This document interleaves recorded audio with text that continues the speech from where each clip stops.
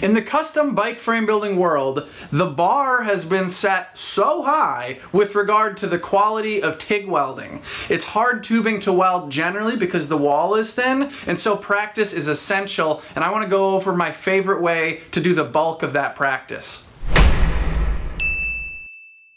If you want to get good real good at welding bike frames, you're just gonna need to weld a lot of bike frames. But that's not always the most appropriate way to practice in every instance. if you're not that good at welding, period, welding bike frames might be a waste of your time because you'll put a lot of money and time into getting the materials for the frame and mitering them to fit together and then your welds will be total garbage. I know mine were in the beginning. It's a hard thing to get good at, and I think it's good to drill the practice joints themselves for a while before you start making whole bike frames. Also, let's say you're trying new pulse settings, new welder setup, different kind of filler rod. You maybe don't want to put that right away into the bike frame. You want to do that in a practice joint first so that you can you can get real comfortable and familiar with it in a low stakes way, which is a couple dollars into a practice joint. Try it, get familiar with it, then put it into your bike frame talking about doing little joints like this. And and this is just a piece of head tube scrap and some, some other tubing scrap. Miter them to fit and then just test weld them up. They're not perfect, but it was really good. I, you know, every time you do it, you get a little more familiar. So I, I gather up my scrap tubing. This is stuff I was doing test bends on. Whatever it is, maybe these are the drop cuts at the end of your frame tubing. Whatever it is, little scraps that I can't, they're not long enough to use for anything else.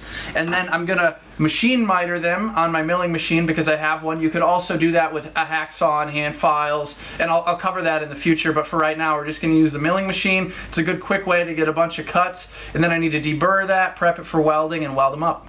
So this is what I'm going to use to hold the tubes for mitering. This is the prototype for the Miter Daddy. This will be on sale uh, in a couple weeks, and it's just uh, it holds main tubes for mitering of different sizes, whether they're round or shaped, tapered or straight. Uh, pretty much all main tubes will fit into this. So here's a scrap that I have. It's got a little bend at the end. We're just going to put it in the milling machine vise here. Now if I want to set it to a specific cut angle, I just use this digital angle gauge. That'd be 13.6. Can set it to whatever I want. I like to do a variety of angles. So a 90 degree joint is gonna be the easiest to weld. If I do something more like a 60 or a 45, that gets to be harder to get on the inside. And so that's good to practice sometimes too. I like to do a variety of angles. Now I need to get on the tubing center line. I designed this tool to be three inches wide, so I'm gonna touch off my edge finder on this side, and then I'll move over an inch and a half, and I know that I'll be on the tubing center line.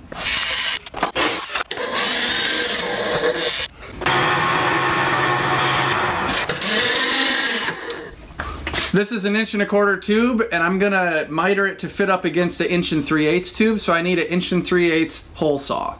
I've got a Paragon Machine Works arbor with a three quarter inch shank and then this here is just a Lenox bimetal hole saw. So I got the tubing tight in the miter daddy, I got the vise tight, I got the table locked, and now I'm ready to make my cut.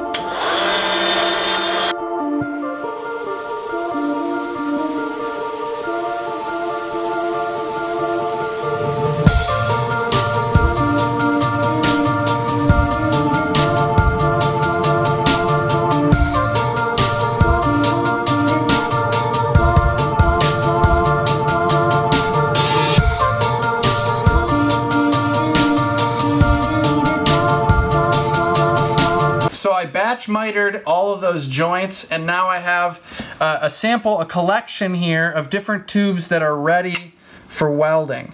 I also deburred these and cleaned these on, uh, on my belt sander and there will be a video coming out about how I like to do that with all the steps involved. But uh, these fit together nicely and they're ready to go. And I got a bunch of them so I can sit down and do a couple, put the rest in the drawer, come back to it the next day, do a couple, that sort of thing. I get all the work done of preparing them in a batch so that then I can just work the practice in whenever I get a chance. It makes it easy for me to regularly regularly practice so that I can get a lot of growth over, you know, every every day or every couple days. So I'm about ready to weld these together. And the whole point of this is just to get more experience, more comfort, more familiarity. And so what I'll do is I'll, first of all, I'm just gonna hold these together. I don't have a slick fixture, so I'll use my left hand, my non-torch hand to hold them together, and then I'll use my right hand with this, and I'll just do a little fusion tack, flip it over, do a fusion tack. I'm just fusing the two metals together because I don't have a third hand to come in with a filler rod. And with those little fusion tacks, they're not that strong yet. And so before I start actually earnestly welding, I'll do like a real tack with some filler and then when I have two little fusion tacks and maybe two filler tacks or something like that, then I'll start actually welding it out. But the whole point of this is uh, basically you, you want to practice, maybe try new things or just try and get comfortable at all if you're new to this, and then assess, you know, think about what worked and what didn't, how can you do it better? Maybe you notice that you're just dipping your electrode all the time, well then you really need to focus on that one thing and drill it. Maybe you're noticing that you're getting, uh, as you dip the filler rod into the puddle, you're getting hung up because the, the filler rod wants to freeze in the edge of the puddle and you get stuck. You know, whatever it is, try and really think critically. Maybe you're undercutting the weld or maybe your starts and stops are not that clean. Maybe you're having a hard time following right along that line of the miter. You know, you want to stay right centered along that miter. And so whatever it is, just always think critically. You know, this is a this is an opportunity for you to fail with no consequences. You can make a terrible weld. And so it's, it's really about just trying to grow. It's not about doing your best work every time. It's about growing growing so that you can learn the most. And I think it's really important to think critically before, during, and after the welds and assessing what went well and what didn't, and then correcting from there. It's different than when you're welding out the full bike frame and take advantage of that difference because this allows you to do different kinds of growth. And, and it's not the same as welding out a full bike frame, but in some ways, it's actually better practice. All right, so here's some fusion tacks.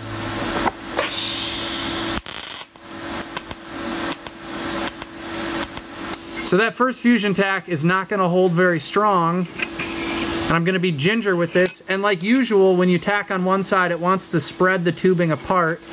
So I'm going to push it together and get another tack.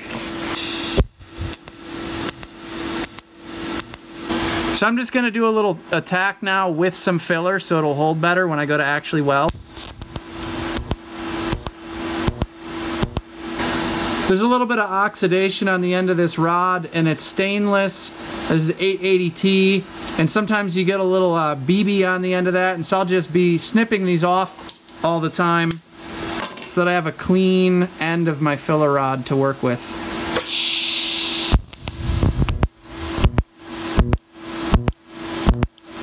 I did two fusion tacks, then I did some filler tacks. This is fairly well held together now.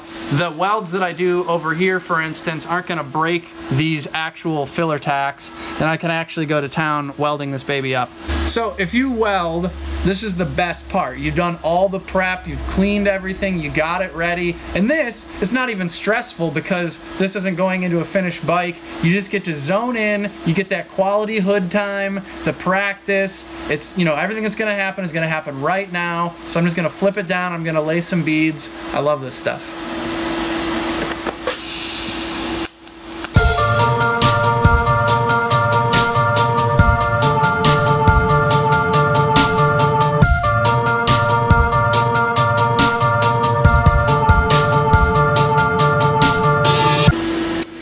You know, I'm, I'm learning all the time and assessing. I'm looking at it. You know, maybe it's a little bit undercut, maybe this or that, whatever it is. I think about it and then I apply those lessons. I try and do better on the next one. And this is just a great way to drill it. You know, once you get this uh, stuff all prepped and it's sitting in a drawer, you can do a, a practice joint like this in 10 minutes or less. And uh, it's a really good way to work that into a daily or, you know, once a week routine that over time really makes you, you know, help you get to that next level. Hope you found the video useful, hit that subscribe button, the red one. It says subscribe on it.